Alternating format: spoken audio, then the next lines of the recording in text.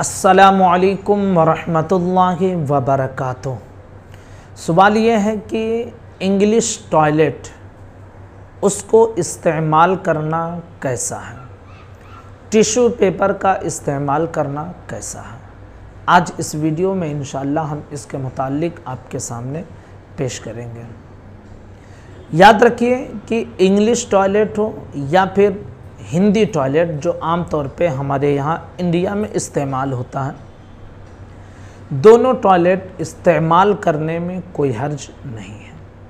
लेकिन एक चीज़ आप ध्यान में रखें कि इंग्लिश टॉयलेट के कुछ नुकसान होते हैं।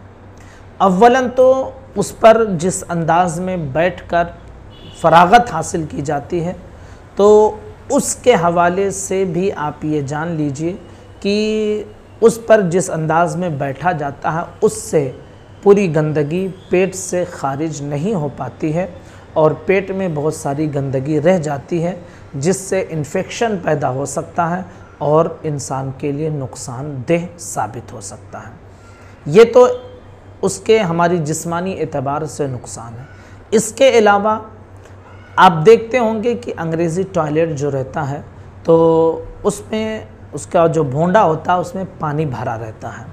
तो अगर कोई शख्स उसके अंदर टॉयलेट करता है तो जानते हैं कि पानी में अगर कोई चीज़ पड़े तो फिर वो पानी में उछाल पैदा करता है।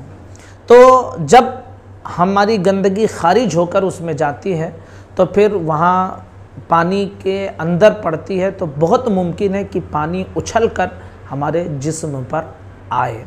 उसके अंदर जो पानी होता है, वो नापाक पानी होता है।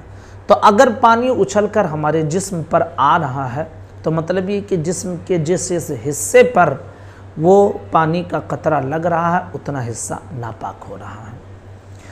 किसी भी पाक चीज़ को बग़ैर ज़रूरत के नापाक कर देना, ये फिर मुनासिब नहीं है।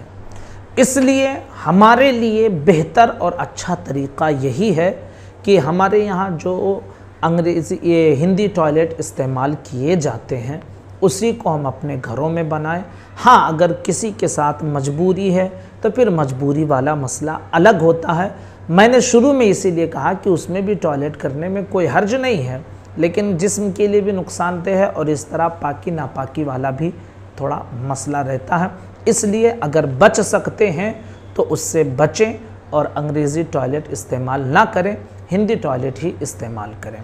रही बात टिश्यू पेपर इस्तेमाल करने के हवाले से तो टिश्यू पेपर के हवाले से आप ये समझ लीजिए कि वो चीज़ उसी चीज़ के लिए बनाई जाती है और उसके अलावा किसी और काम में वो इस्तेमाल नहीं हो सकता है। यानी उससे गंदगी की सफ़ाई के लिए ही वो टिश्यू पेपर बनाया ही जाता है। तो ज़ाहिर सी बात है कि अगर उससे कोई इस्तेमाल करता है टिश्यू पेपर तो फिर टिश्यू पेपर के इस्तेमाल में भी कोई हर्ज नहीं है। उम्मीद करता हूँ कि ये मसला आपकी समझ में आ गया होगा। गुजारिश है अपने तमाम दोस्तों, साथियों तक इस क्लिप को पहुँचाएँ। हमारे चैनल को सब्सक्राइब ना किए हों तो ज़रूर कर लें। असलकम वरहमल वर्का